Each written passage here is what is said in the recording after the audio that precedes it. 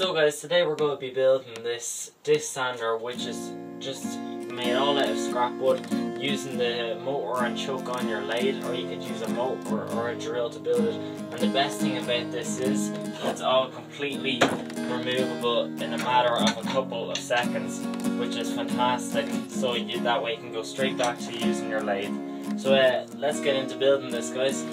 So as I said guys, this is a scrap wood project. So as you can see I have this mad shaped piece of plywood that uh, was from a door that we were making.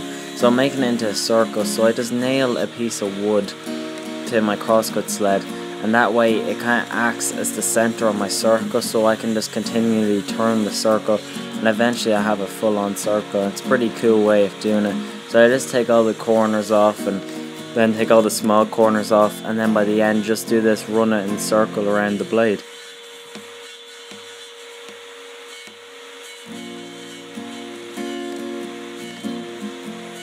And once that's done guys, I just need to make a smaller one that can uh, act as the thing that the chuck grabs onto. Alright, so I have the two circles and to line them up it's so easy. Because you use the nail to turn the little circle on the table saw you can actually use that to line up the centers and just put it in a bit of the way. And then using a drill I'm just going to put probably three screws in. I'm just drilling the pilot hole. And I'll screw it in, take the nail out and that'll be grand for the lathe. So then we're just going to construct um, using some chipboard we're just going to construct a three piece thing that I'll put on the lathe. I'll show you now in a second. Alright, so as you can see it's fitting in and if we need to we'll be able to true it up with the lathe but it chucks on nicely and what's great about this which means when you have a chuck, you can do this if you have a faceplate as well, but the advantage of doing it with chuck is you can just simply take it off when you're done with it and then pop it back on and just tighten up and it'll always be balanced, which is fantastic. So now what we're going to do is we're going to make a little kind of three piece thing. So one piece going like this, one piece going like this, and then one piece going across them, and that'll make the table. And as long as it's 90 degrees to it, we'll have a perfect disc sander here. So as you can see guys, here's all our pieces. I actually used four because I didn't have more of this width, so I just used two thinner ones on top, which is the exact same, so it's grand, I don't mind at all.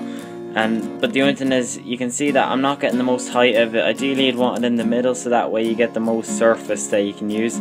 But for now this will be grand, and when I have some more scrap eventually, I'll just put another piece on top of this, and that way it'll be one flat piece well, so it'll be a bit better.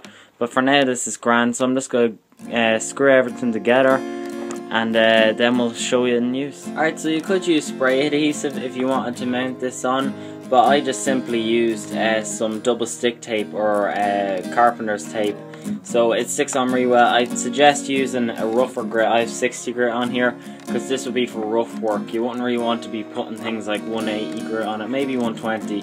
But uh, yeah, so we're just, I have my little piece down here. So we're just going to put some spray lacquer on it. I know guys, you're probably shocked when you hear that I wasn't using boiled linseed oil, but I thought this would be a bit more hardware and on the chipboard, so I thought it would be a bit better. Um, I'm just going to put some case wax once I'm done with this.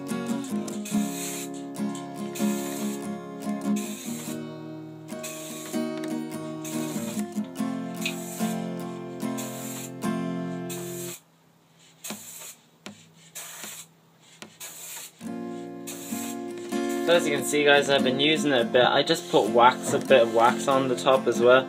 And I just did a piece of wood there. So I'm going to try and do this without getting in the way of the camera too much.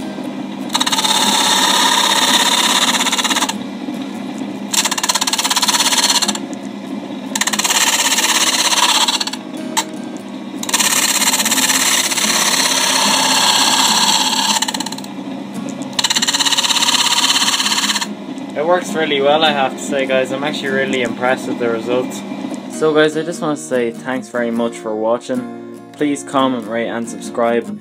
And um, me and Eric Lundberg are planning on doing a like video combination guy. I said it in our video but I think people were more focused on replying to my so which was great so thanks very much. But if we were doing a video together, what would you guys like to see? Maybe like a videos, video on tips or something like that. So just uh, tell us below. It'd be easier if it was something we could do kind of talking instead of like a project because it'd be a bit harder. Uh, and I hope you like this video guys, made all out of scrap wood. And you don't need a lathe to do this, you can use even like a motor or something like that, or even a drill if you really needed to. So um, yeah guys, please remember to comment, rate and subscribe, and hit like, a thumbs up if you enjoyed the video. And remember, a clean shop is a safe shop. Thanks for watching.